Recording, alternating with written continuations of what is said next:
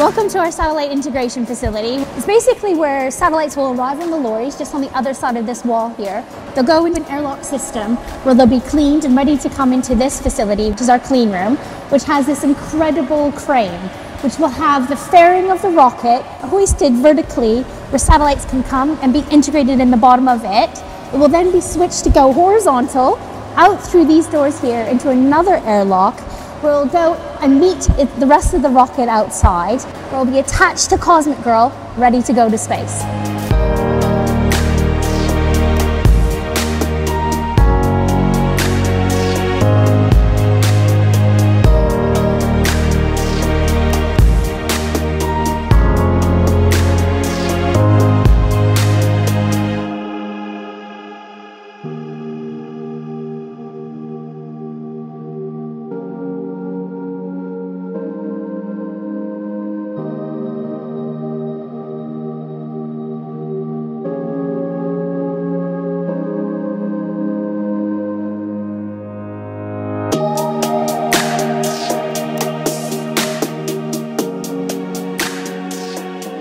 Well, we're down in Cornwall, like, uh, like the spaceport, and we have an antenna here which is going to be tracking the launch, which will go at the end of the runway, and that will point towards LauncherOne, and so we can check all of the telemetry, the signals that tell us that the rocket is okay and all of the spacecraft on, on board are okay.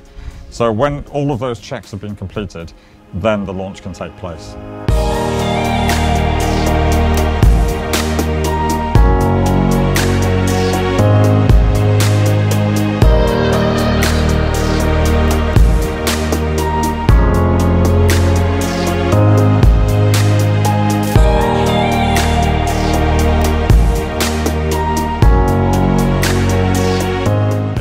All of the equipment needed to control the antenna outside, to pick up that telemetry from the rocket uh, and to send it back to the mission control center.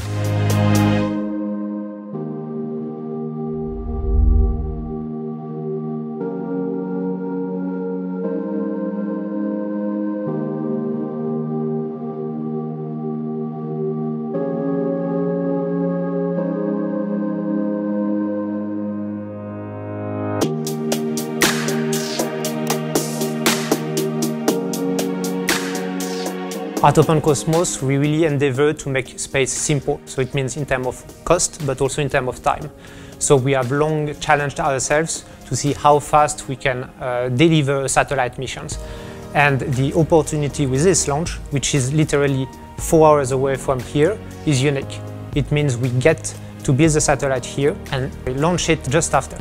We've always been strong on space technology in the UK, but now we are in a unique position globally. This is the beginning of us having a concept, designing it, building it and launching it from the UK. So the first launch from the UK is already a launch that demonstrates the end-to-end supply chain and I think that's really exciting. The space sector is worth over £6.5 billion annually to the UK with 47,000 people employed there. So whether you're actually bringing economic value in, whether you're delivering missions and capabilities with the skills that you've got from the workforce or you're inspiring the next generation, it's a really, really important part for us to make sure that we grab that, squeeze it and get as much out of it as we possibly can. I'm from Cornwall myself and there are lots of Cornish people here. I think my first poignant moment here was when I was in charge of the controls when we were operating with the Mars Express. Just being able to effectively control a spacecraft uh, from this room. That was the first time I realised, wow, we're sending signals into space and getting them back, sending them onto ESA. That's pretty cool.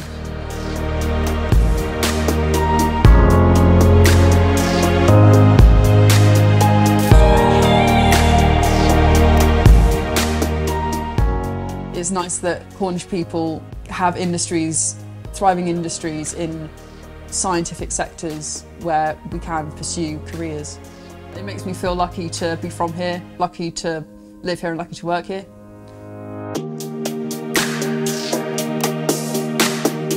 Seeing the millions we've invested in First Launch manifest itself into Cosmic Girl sitting on the apron, a rocket in the integration facility, is an immensely proud moment for myself and the agency and all of those who've been involved in this programme.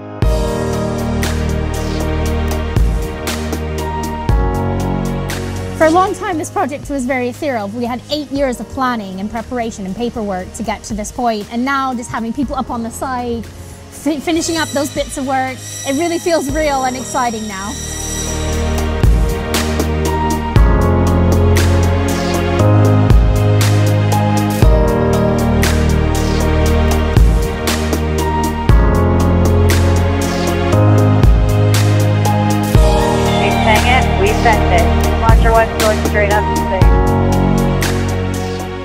It feels like the most exciting time in the last 50 years of space endeavour, and we're right at the heart of that here in the UK.